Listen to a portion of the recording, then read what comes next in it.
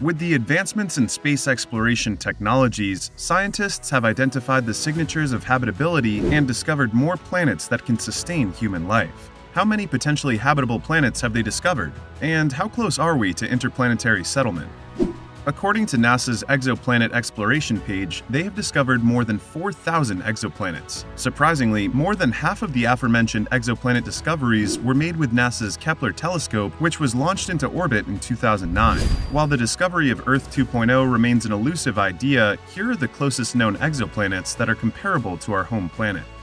Scientists believe that Gliese 667 cc is the most identical planet to Earth. The planet was discovered in 2011 and is only 22 light years distant from us. It is located in the Scorpius constellation, and it is believed to be at least 4.5 times bigger than our planet. According to scientists, it is 1.5 times larger than Earth radii with a similarly rocky surface. The surface temperature of this planet is about 4.3 degrees Celsius, which makes it a good place for water to keep its liquid form.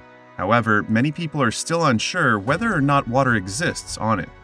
Kepler 22b is among the first planets discovered within the Goldilocks zone of a sun-like star. It is thought to be a great spot to search for extraterrestrial life, but the 600 light-year distance requires a more powerful telescope to observe. NASA experts were able to confirm Kepler 22b's validity in 2011 after publishing a set of 54 candidates for habitable exoplanets. It is estimated to be 2.4 times larger than our planet, and scientists believe it has an average surface temperature of 22 degrees Celsius. One thing that makes Kepler 22b pretty similar to Earth is that it has a 290-day orbit. It also has a G-class sun as its parent star, just like ours, but its parent star is a tad bit smaller in diameter and a bit colder. This exoplanet first came to light in 2014 following a joint observation effort by NASA and SETI scientists. It is only 10% larger than the Earth and is located 490 light-years away. The similar dimensions make scientists believe that it's a promising candidate for a habitable planet. Thanks to its distance from the Sun, there is a probability that this exoplanet contains water. Even so, scientists are still not sure about Kepler 186f's capabilities to sustain life. Aside from that, the parent star of the exoplanet is only half the size of our Sun. During its reveal in 2016, NASA was very confident that Proxima Centauri b has a big potential to become a place where humans can survive. This rocky planet is roughly 30% larger than our Earth and is located just 4 light years away. One thing that makes NASA very confident about this claim is that the exoplanet is located within Proxima Centauri's Goldilocks zone. This makes the space organization believe that water will have the ability to retain its liquid form on the planet's surface. A 2018 study proposed a startling idea that several of the TRAPPIST-1 planets, specifically TRAPPIST-1e, could have more water than Earth's oceans. If you are not familiar with it, the TRAPPIST-1 is a cold dwarf star with seven known planets orbiting it. According to early phase of the discovery, some theory groups predicted that the E is equipped with a dense atmosphere that makes it habitable. Unfortunately, a recent calculation from NASA's James Webb Space Telescope revealed that it had no atmosphere, but there is still a possibility that TRAPPIST-1e has a very thin atmosphere. To explore more on this issue, scientists are planning follow-up observations targeted at the planet's orbit. In 2010, the world of astronomy was astounded by the discovery of Gliese 581g, a planet with very similar characteristics to Earth. This was considered a major breakthrough and it raised many people's hope for a new place where humans can live and thrive. Unfortunately, an advanced study revealed that the discovery of Gliese 581g was actually a mistake and the planet did not exist at all. What scientists thought to be a planet was actually a magnetic explosion from a star. An expert from Pennsylvania State University did an analysis of the data. He also reviewed the hydrogen alpha and sodium emission from Gliese 581g and concluded that the planet did not actually exist. The search for habitable planets appears to be one of the more exciting themes in modern astronomy. Scientists have created several tools and approaches for studying stars and their solar systems, and their efforts have resulted in some spectacular findings. Of course, discovering new planets, let alone determining if they are habitable, is not an easy task for these scientists. However, if you're wondering what makes a planet habitable, experts have agreed on the following requirements. This is one of the most important factors to decide whether an exoplanet is habitable or not, because unless a planet stays at the right distance to its sun, it will not have the ideal temperature for life to develop and exist. But even if a planet has the right distance to its star, it must still meet other criteria to be habitable.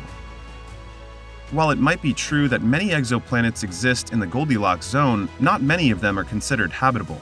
One main reason for this is that they don't have a circular orbit, which is very crucial because a planet will always have to orbit around its sun.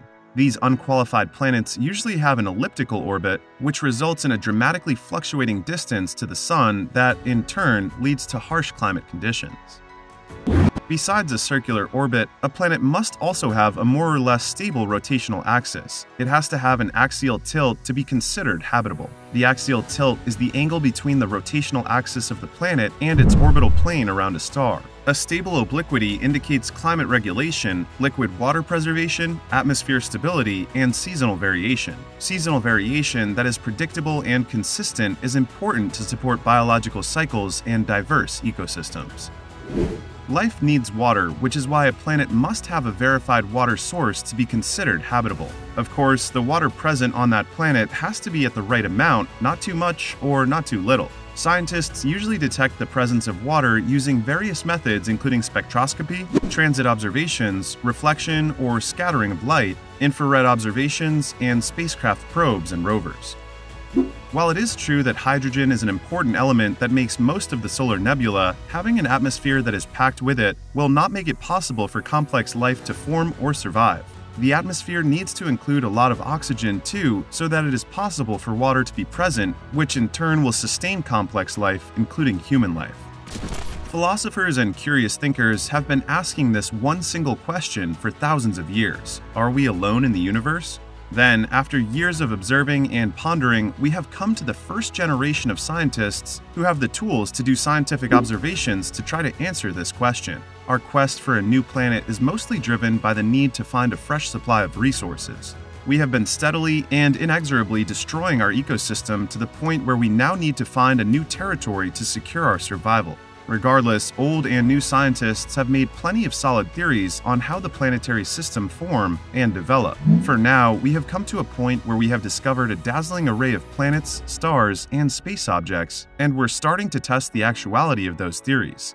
In a way, each new discovery we come across teaches us a new thing, it tells us a little bit more about how the universe works, mm. and observing these planets has allowed scientists to better determine whether or not we have fully comprehended these obscure cosmic processes. On top of that, what our hunt for other planets does for us is open up a big door of opportunity to explore and look for other potentially habitable worlds, another blue and white pearl just like ours.